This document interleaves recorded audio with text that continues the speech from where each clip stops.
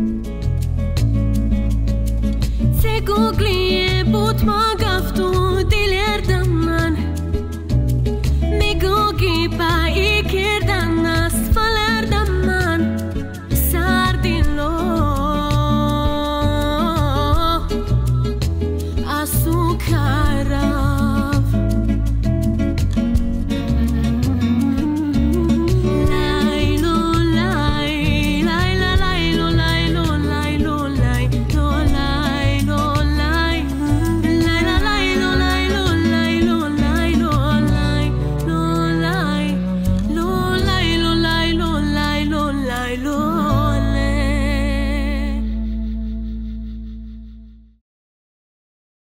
ziua și bine v-am regăsit la o nouă ediție a emisiunii Romi pentru România.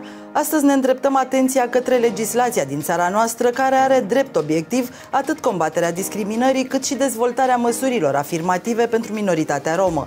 Invitatul acestei ediții este Marian Daragiu, vicepreședintele Partidei Romilor Pro-Europa și subsecretar de stat în Ministerul Educației, de la care vom afla care au fost contribuțiile Partidei Romilor la demersul legislativ și ce prevedere au fost inițiate chiar de către reprezentanții organizației. Dar pentru început, haideți să urmărim un scurt material introductiv.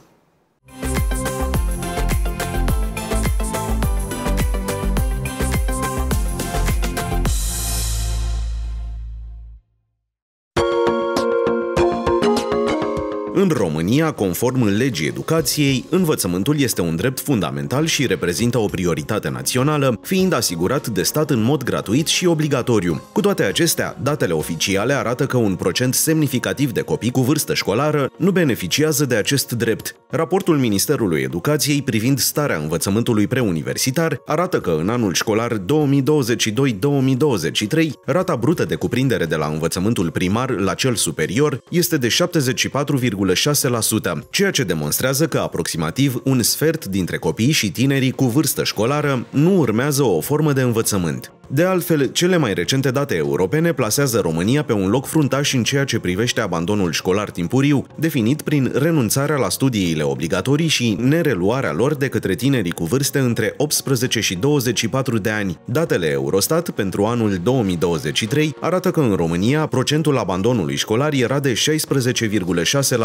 în contextul în care media europeană este de sub 10%. De asemenea, trebuie precizat că în România numărul copiilor și tinerilor care renunță la învățământul obligatoriu crește alarmant în mediul rural. Analizele de specialitate au demonstrat în mai multe rânduri că factorii care favorizează și accentuează abandonul școlar sunt gradul de sărăcie și lipsa implicării parentale, în cazul celor plecați la munca peste hotare. La acestea se adaugă factorii care influențează frecvent participarea la ore a elevilor romi, formele de segregare și discriminare care îndepărtează copilul sau tânărul de mediul școlar. În ceea ce privește nivelul de sărăcie, în această vară, un studiu UNICEF atrăgea atenția că 41,5% dintre copiii din România, reprezentând aproximativ 500 de mii de copii, se află în prezent în risc de sărăcie și excluziune socială, acest procent fiind dublu față de media europeană. Una dintre marile provocări pentru mulți copii și părinți din mediul rural este transportul școlar, care nu reușește să asigure toate nevoile comunității.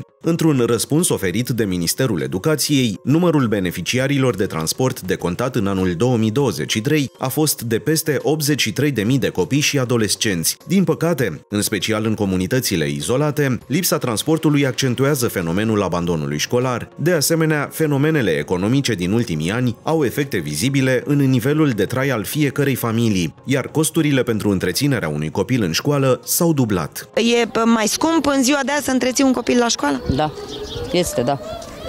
Pentru că se cere multe și nu avem posibilitate să-i, să-i îmbrăcăm, să-i încălțăm. Dar eforturile trebuie făcute. Trebuie făcută că nu poți să trimiți dezbrăcați la școală. Rechizitele care sunt acum așa, astea sunt scumpe, rechizitele. Trebuie să le luăm și la 5-a și la 1 Vreo 50 de milioane. Că sunt 5, doamne, nu sunt, e decât unul. Și cum, cum v-ați descurcat? Foarte greu. A trebuit să le iau pe rând, așa. Că n-am cum să îmbrac pe toți cinci odată. Se cheltuie pentru că un copil are nevoie de întreținere, are nevoie de manuale, are nevoie de ghiozdane, are nevoie de îmbrăcăminte. Se cheltuie, nu pot spune o sumă anume, dar se cheltuie. Dacă ar fi să estimați, cel puțin 1500-2000 de lei doar pentru pregătirea unui copil. În peste 30 de ani de activitate, Asociația Partida Romilor și-a făcut un obiectiv prioritar în promovarea educației și susținerea copiilor prin inițiative legislative, campanii de promovare a educației, acțiuni în comunități pentru sprijinirea familiilor cu rechizite și cărți, prin măsuri legislative și parteneriate cu instituțiile statului, Asociația Partida Romilor a susținut implementarea măsurilor afirmative pentru romi, cea mai importantă fiind cea care vizează accesul copiilor și tinerilor romi la educație prin acordarea locurilor speciale în învățământul liceal și universitar. Locurile speciale pentru romi au fost introduse în România începând cu anii 90. Începând din anul 2000, Partida Romilor s-a implicat activ în acest demers prin derularea la nivel național a campaniilor educaționale Noi îți dăm recomandarea, Școala te face om mare, SOS copiii romi, iar până în prezent peste 150.000 de elevi romi, absolvenți de gimnaziu, au beneficiat de recomandări pentru accesarea locurilor speciale în licee, școli profesionale de stat. Precizăm că în fiecare an, în cadrul campaniilor educaționale derulate la nivel național în cadrul organizațiilor județene ale Partidei Romilor, peste 4.000 de elevi romi primesc gratuit recomandări de apartenență la etnia romă, consiliere și orientare profesională. În plus, aproximativ 10.000 de tineri romi au beneficiat de cursuri în învățământul superior pe locurile speciale pentru romi, acordate în instituțiile universitare de stat din întreaga țară. Unii dintre absolvenți au continuat parcursul educațional și au obținut titluri de de master și doctorat, tot pe locurile special dedicate candidaților romi. Este important de amintit și de susținerea acordată de Partida Romilor elevilor romi din comunitățile defavorizate la fiecare început de an școlar, mii de elevi primind în urma acțiunilor organizației ghiozdane, cărți și rechizite. Deputat în patru mandate legislative, reprezentant al minorității rome în grupul minorităților naționale, Nicolae Păun a contribuit în Parlamentul României cu peste 50 de propuneri legislative. Încă din perioada anilor 2000-2004, fiind desemnat și președinte al Comisiei pentru Drepturile Omului din Camera Deputaților, a pus pe ordinea de zi măsuri pentru integrarea socială a romilor. Nicolae Păun a pus bazele Agenției Naționale pentru Romi, organ de specialitate al Guvernului României, care are drept rol planificarea și implementarea măsurilor din domeniul drepturilor minorității rome. În acest context, dreptul la educație și creșterea participării școlare a romilor au fost mereu o temă abordată cu prioritate organizate de către președintele Partidei Romilor. Sub coordonarea sa, organizația Partida Romilor a lansat campanii de promovare a educației în rândul elevilor romi. A crescut șansele a sute de mii de copii romi prin acordarea recomandării necesare accesării locurilor speciale pentru romi, a inițiat parteneriate cu Ministerul Educației și inspectoratele școlare județene pentru organizarea Olimpiadelor de limba romanii și concursului național de istorie și tradiții ale romilor și constant a încurajat și premiat elevii romi cu rezultate școlare școlare excepționale. Cei care nu știu decât să fie critici și sunt xenofobi și sunt rasiști, poate să rămână acolo în control, nu ne deranjează. E treaba lor. Dar noi nu putem să stăm pe loc, uitându-ne la copiii noștri, când nu se duc la școală pentru că nu avem ce să le punem acolo în pachet, nu au haine, nu au posibilitate să învețe, și tot așa mai departe, lista poate să continue. Partida Romilor a dezbătut constant și a adus pe masa autorităților problemele din educație cu care se confruntă elevii romi. În cadrul a numeroase simpozioane și acțiuni de profil au fost prezentate, nu odată, motivele și factorii care influențează creșterea abandonului școlar în rândul romilor. Între acestea, condițiile de trai, anturajul, tradițiile, discriminarea, dar mai ales sărăcia, fiind aspectele cele mai frecvente în decizia de abandon. În emisiunile noastre am relatat în nenumărate rânduri cazurile dramatice ale familiilor extrem de sărace din comunitățile de romi, efectele sărăciei afectând direct și parcursul educațional al copiilor, multe dintre aceste familii fiind ajutate de organizațiile locale ale Partidei Romilor.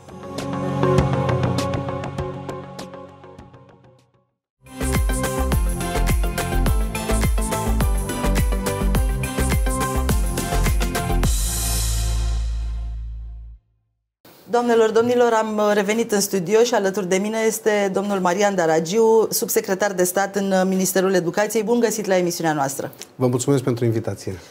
Iată că am uh, urmărit uh, un material, domnule Daragiu, un sfert dintre copiii și tinerii cu vârstă școlară nu urmează nicio formă de învățământ.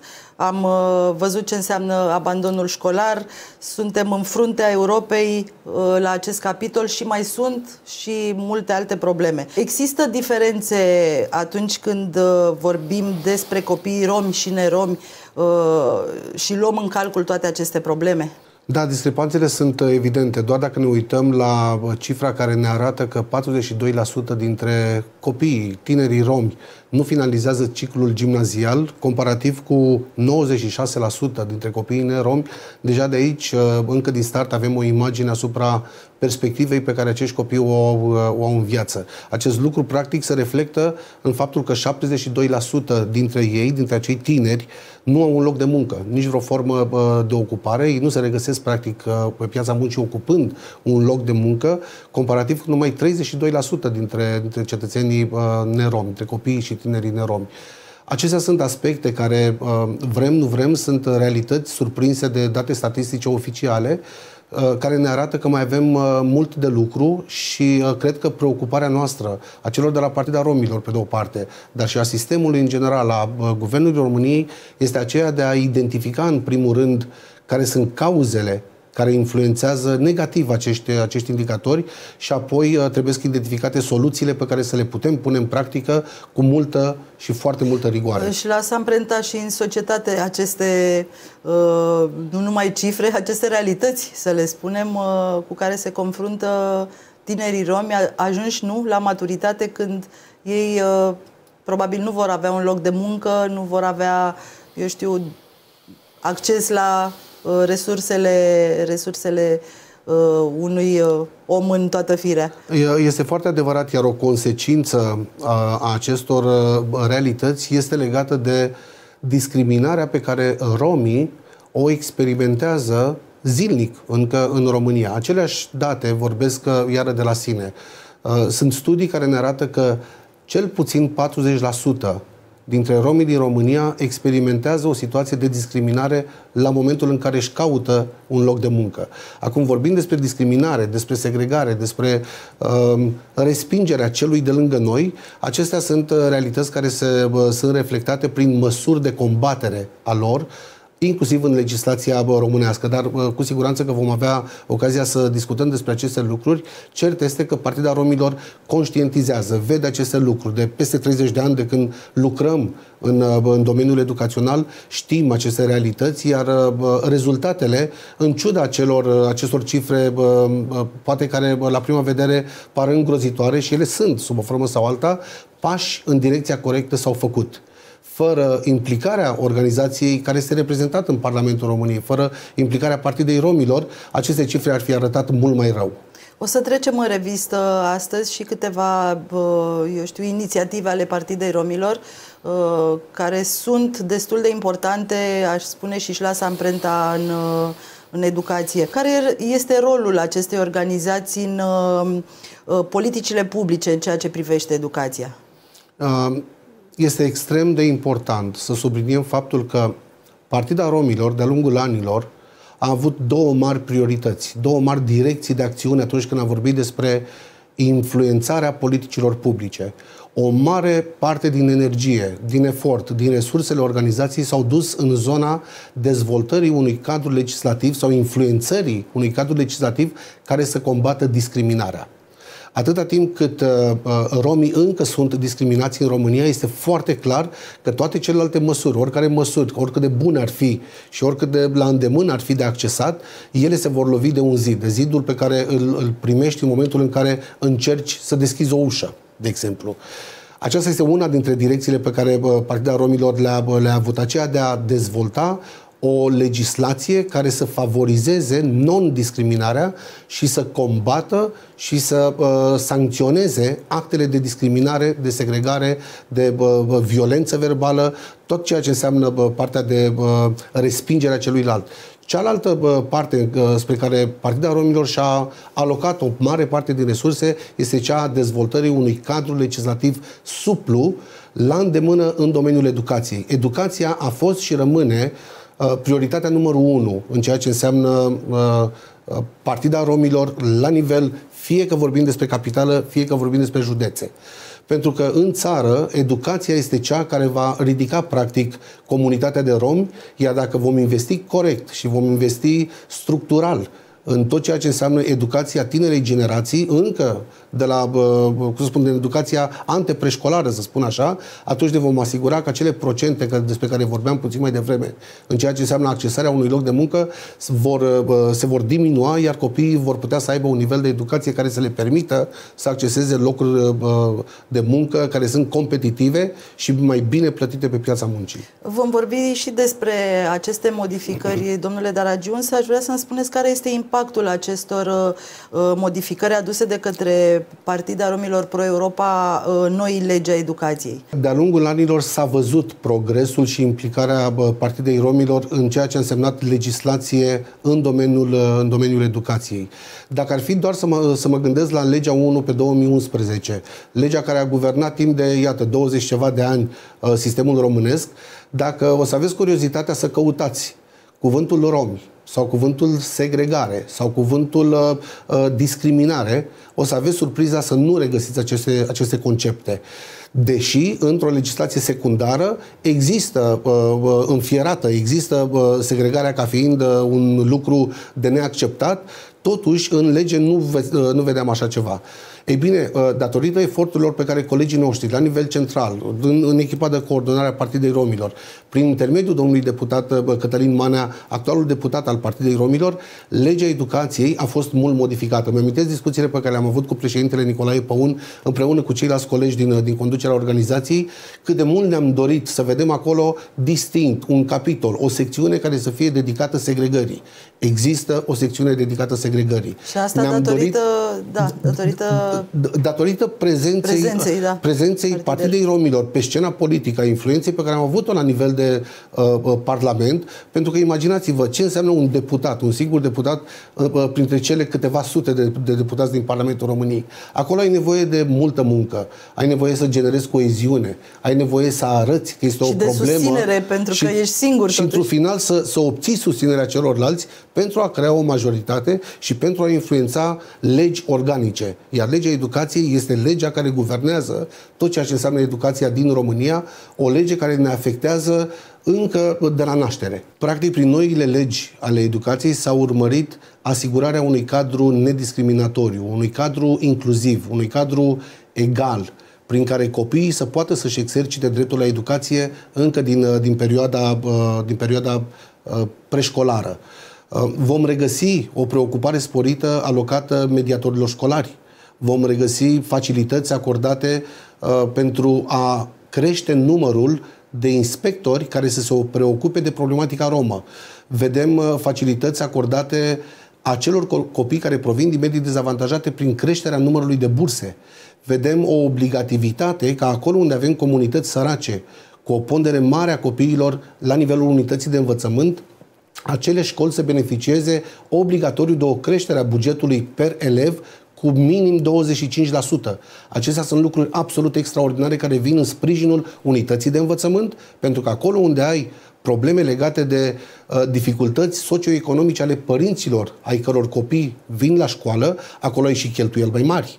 Evident că acolo ai nevoie de activități uh, extracurriculare, acolo ai nevoie de uh, profesori de sprijin. Acolo să vii cu un suport. Trebuie să vii de... să, să cumva să completezi și să acopere această diferență care se regăsește încă din, din comunitate, de acolo de unde copilul pleacă din comunitate până la nivelul la care el ajunge la școală și aici deja mă gândesc la acel deficit educațional pentru că o parte dintre copiii pe care îi regăsim în clasa pregătitoare sau în clasa întâi, o parte dintre ei nu au trecut niciodată pe la grădiniță.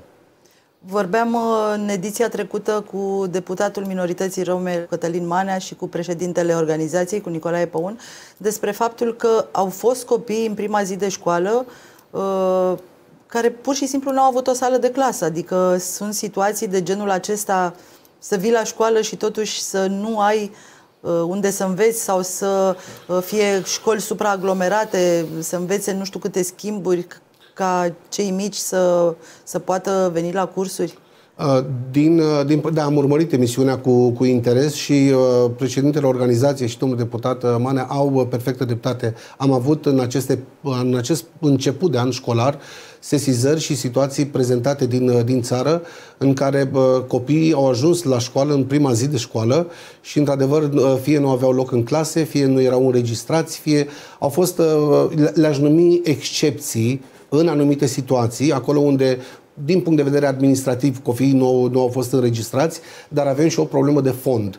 Una care ține mai degrabă de faptul că părinți care nu au știut când trebuie să-și înscrie, care, care este calendarul de înscriere a copiilor la unitatea de învățământ, co- pă- părinți care la rândul lor au un deficit educațional și acestea sunt probleme deja bă, de, de, de sistem, aș spune. Probleme care țin de structura uh, unei, unei comunități. Acestea sunt marile probleme, de aceea spuneam că Partida Romilor este preocupată de uh, aspectul educațional și nu doar din, din perspectiva faptului că fiecare copil trebuie să ajungă la școală, ci este preocupată inclusiv de adulți. De aceea programe de a doua șansă, de aici programele de consiliere, programele prin care liderii noștri din comunitățile de rom, liderii Partidei Romilor Pro Europa, care participă la întâlniri, la discuții uh, uh, cu conducerea organizației, care primesc din partea noastră materiale și calendare uh, uh, educaționale, sunt persoane resursă pentru comunitate și sunt într-o permanență uh, uh, legătură cu comunitatea.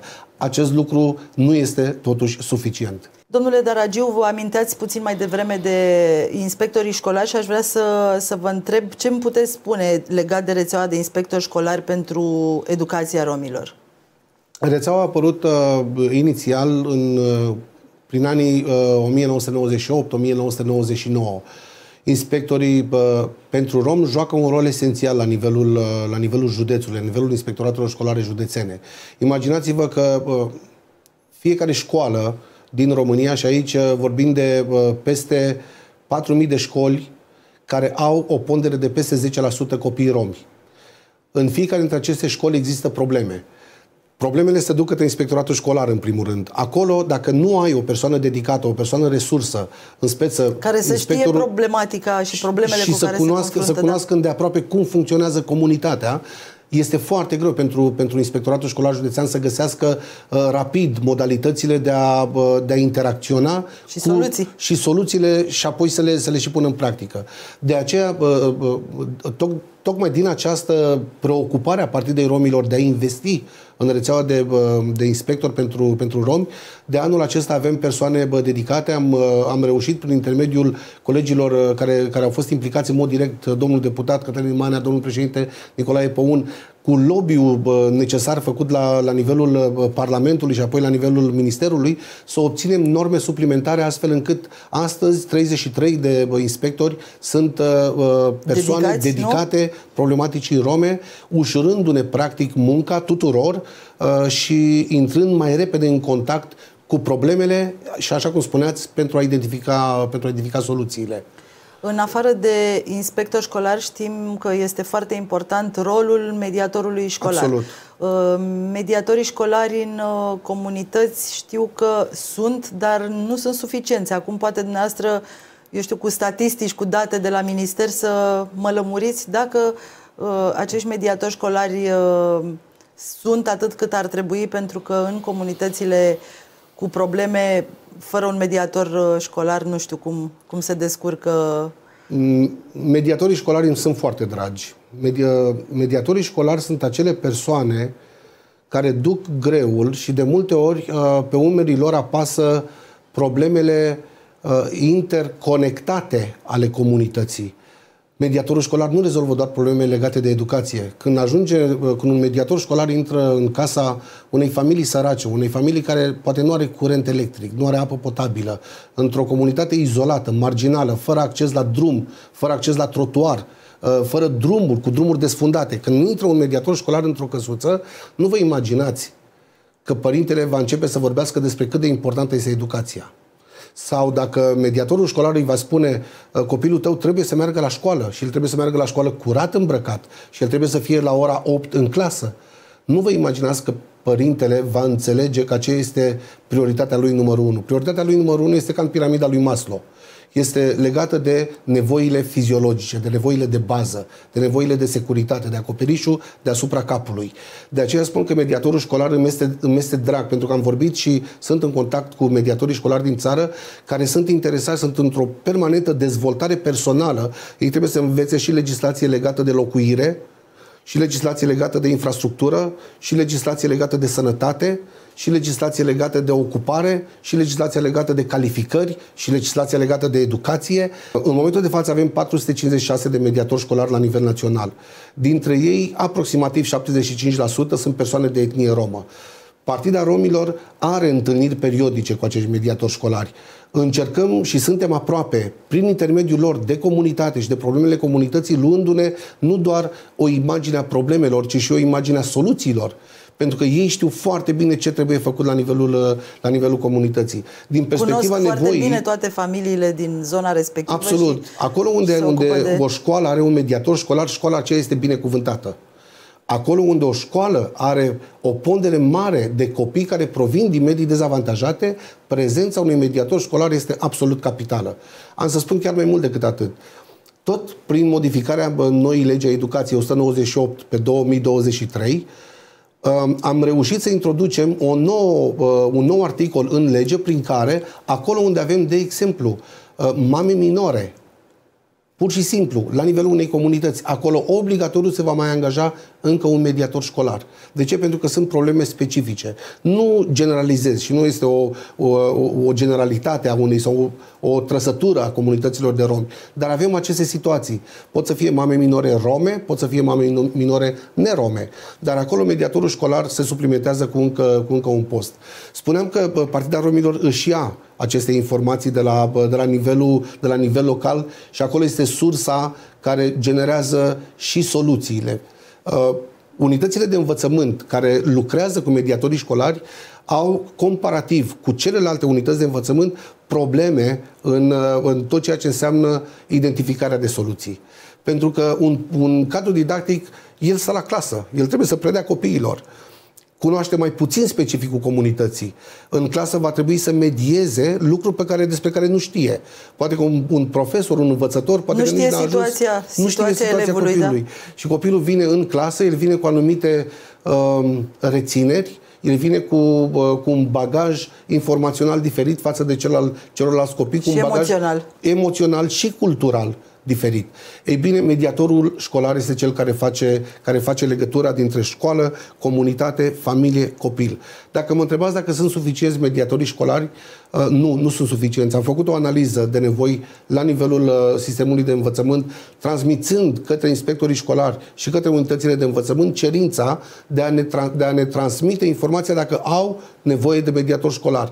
Cel puțin o mie de mediatori școlari este nevoie să avem în momentul de față în sistemul educațional. Deci cel puțin dublu numărului existent. Există șanse ca acești mediatori uh, școlari să fie angajați în uh, comunitățile respective? Din Că fericire, așa știți, nevoile Da. sunt, dar dacă sunt numai pe hârtie și nu, nu și concret, din fericire, la nivelul uh, Ministerului Educației uh, avem deschidere, iar uh, conducerea Ministerului are o, preocu- o preocupare sporită vis-a-vis de tot ceea ce înseamnă incluziune, echitate în educație, de aceea uh, și avem o nouă lege a educației atât de cuprinzătoare care, și care ne permite să ne mișcăm acum în, în acest cadru legislativ pentru a crea premisele pentru a dezvolta resursă umană de calitate și pentru a putea să rezolvăm din problemele bă, comunității.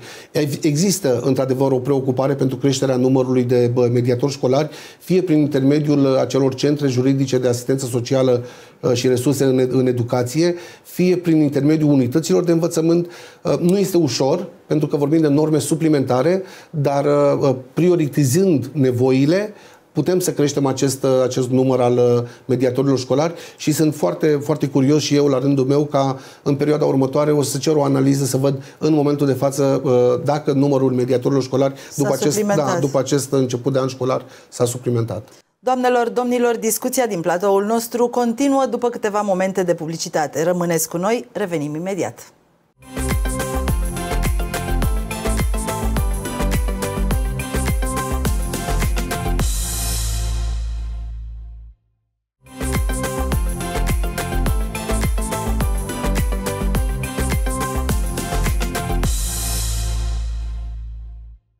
Doamnelor, domnilor, am revenit în studio. Discuția noastră continuă. Alături de mine este în continuare Marian Daragiu, subsecretar de stat în Ministerul Educației. Domnule Daragiu, referitor la Asociația Partida Romilor Pro-Europa, pe care dumneavoastră o și reprezentați, am amintit câteva puncte, eu știu, de interes, acolo unde s-a implicat foarte mult în în domeniul educației. Știu că în fiecare an derulează campania SOS Copiii Romi. Voiam să vă întreb dacă aveți așa, eu știu, o statistică a acestor uh, cifre, să le cunoaștem și noi cum, cum am stat anul acesta, cum am stat anul trecut. Au da. toți romii locuri uh, pentru a intra la liceu, la facultate? Ca să vă răspund uh, jurnalistic, da, toți romii au acces și la uh, liceu și la sistemul de învățământ terțiar, la universitate, prin accesarea locurilor dedicate uh, ca o facilitate acordată minorității rome, tocmai pentru a diminua decalajul despre care am vorbit în această, în această emisiune. La nivel de liceu, anul acesta am avut 6382 de locuri disponibile. Uh, trebuie să știți că fiecare, la, la nivelul fiecarei clase, există unu, două locuri disponibile pentru copiii aparținând minorității rome, iar Partida Romilor a făcut deja o politică în sine din acordarea acestor recomandări pentru copiii aparținând minorității rome pentru a avea acces la, la licee, acolo unde își doresc, la profilele pe care și le-au, și le-au ales. La nivel de uh, universitate și acolo locurile sunt absolut uh, îndestulătoare. Uh, nu am ajuns încă la momentul în care să spunem că nu avem locuri suficiente pentru, uh, adică au fost mai multe cereri decât, decât, uh, decât oferta, decât locurile da. ocupate. Dacă există asemenea spețe, există la nivel de facultăți. Pentru că o universitate, de exemplu, primește, la nivelul universității, primește, să spunem, 30 uh, de locuri.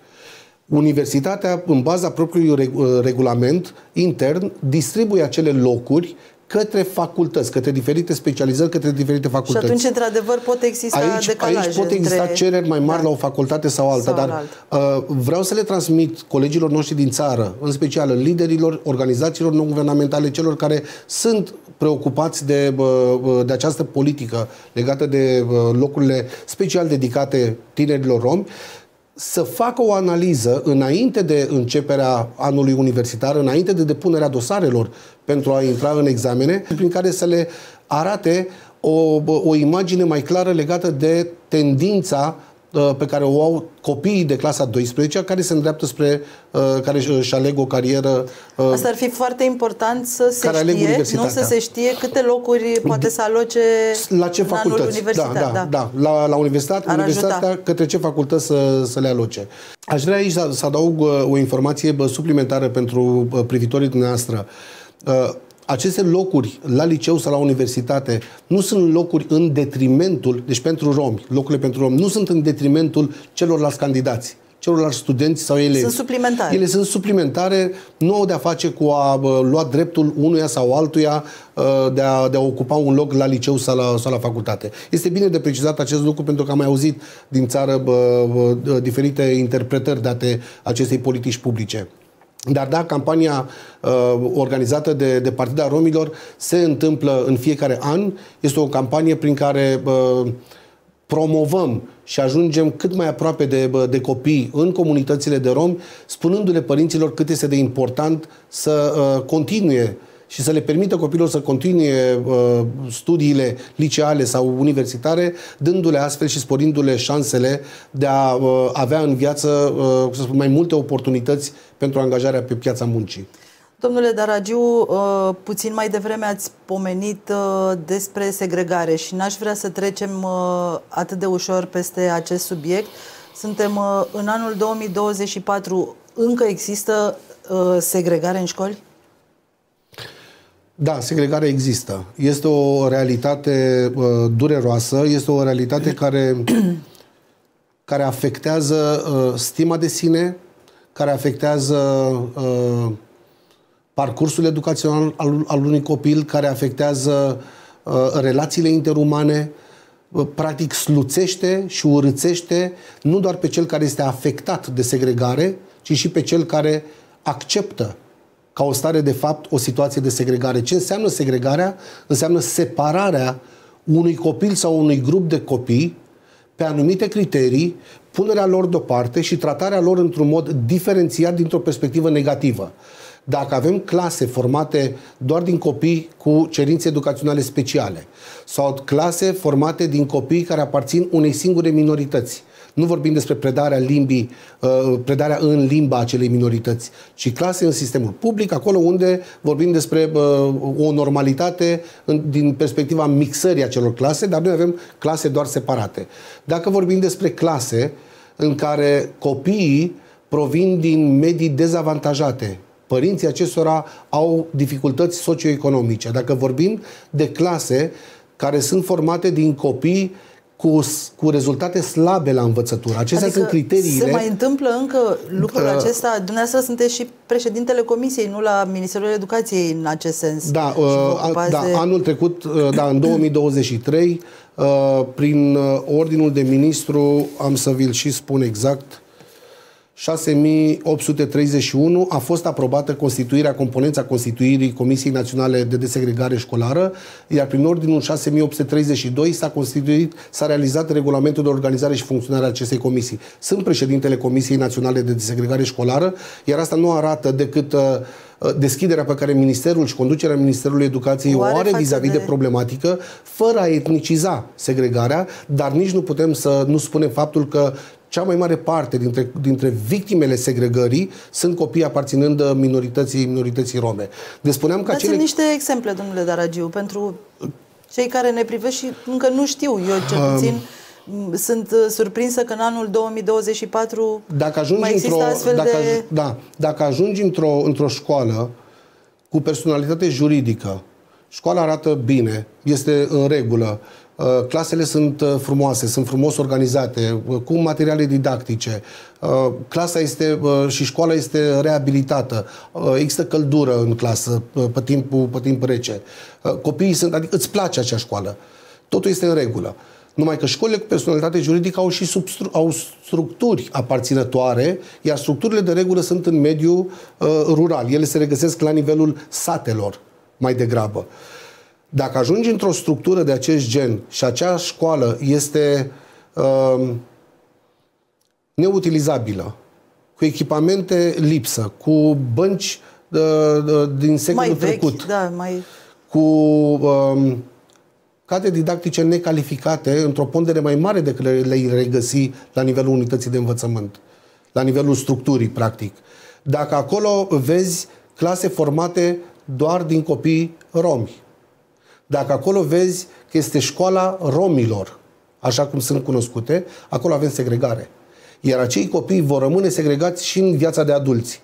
Șansele lor de a se integra în societate uh, sunt, aproape nule. Sunt aproape nule. Adică dacă societatea acceptă de bun, cu bună știință o situație a acestor copii în, în viața lor uh, preadolescentă, separându-i de societate, acesta este un bumerang care se întoarce în societate cu un impact negativ major. Studiile Deloitte spun în felul următor. Cea mai bună investiție în momentul de față, cea mai profitabilă investiție din oricare business ți l-ai, ți l-ai putea imagina, este investiția în educație. Randamentul este 1 la 7. Un leu investit în educație îți va aduce înapoi 7. 7 lei. Adică noi, ca oameni maturi, organizația noastră, Partida Romilor, a înțeles aceste lucruri.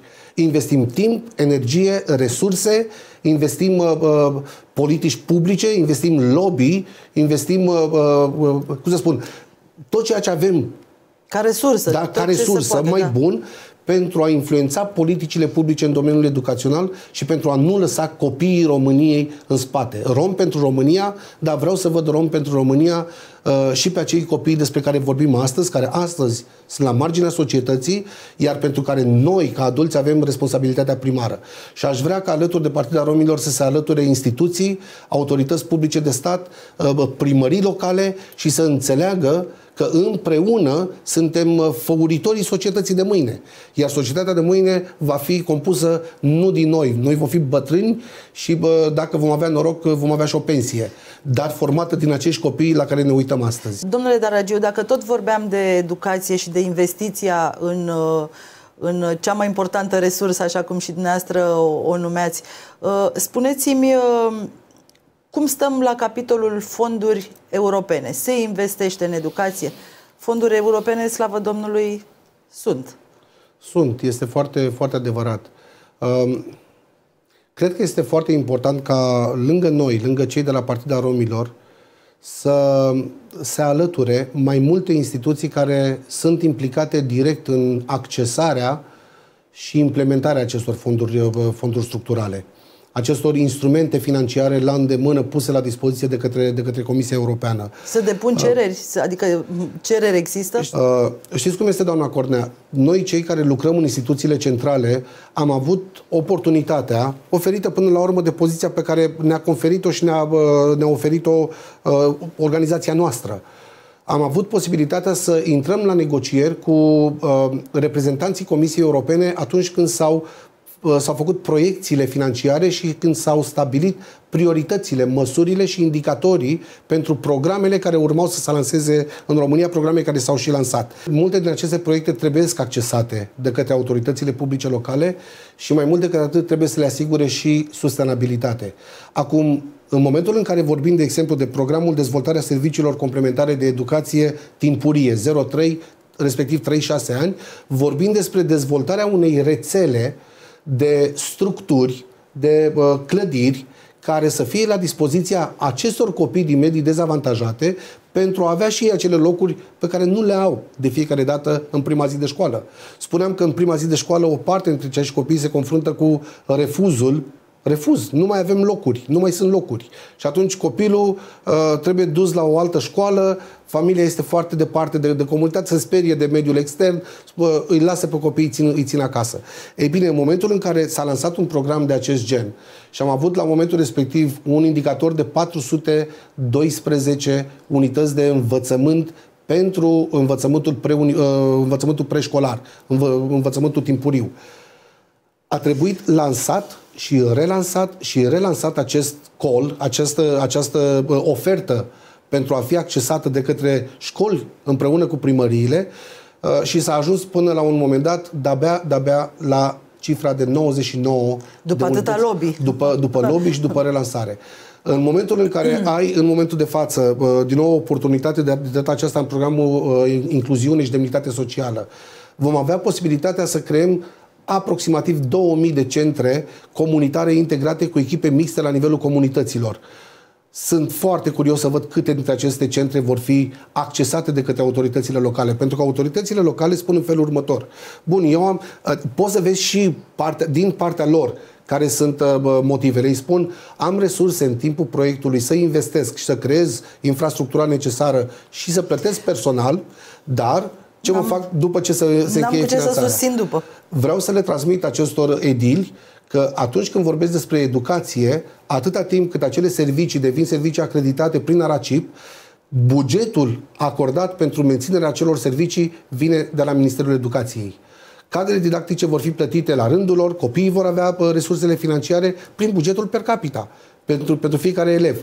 Deci, cred că ar trebui să ne uităm mai mult înspre partea plină a paharului, să, să, să începem să devenim mai, nu doar mai solidari, dar uh, și mai conștienți de rolul pe care îl avem, din pozițiile pe care le avem de aleși locali în cazul acesta, iar rolul Partidei Romilor aici este unul uh, de multe ori între Ciocan și Nicovală. Am să rămân doar uh, ferm în ceea ce înseamnă prioritatea și preocuparea Partidei Romilor ca mesaj este acela de a, de a face lobby, de a influența deciziile autorităților publice locale, de a decide în favoarea nu doar a comunității de romi, în favoarea cetățeanului, indiferent de etnia lui. De aceea este important numărul de consilieri locali pe care îi avem în consiliile locale. De aceea este important, avem acum și câțiva primari, unde acolo lucrurile se vor schimba uh, în bine. Să-și aducă o contribuție Își, își vor aduce clară. contribuția pentru întreaga comunitate, indiferent de etnia pe care, pe care o reprezintă membrii acelei, acelei comunități.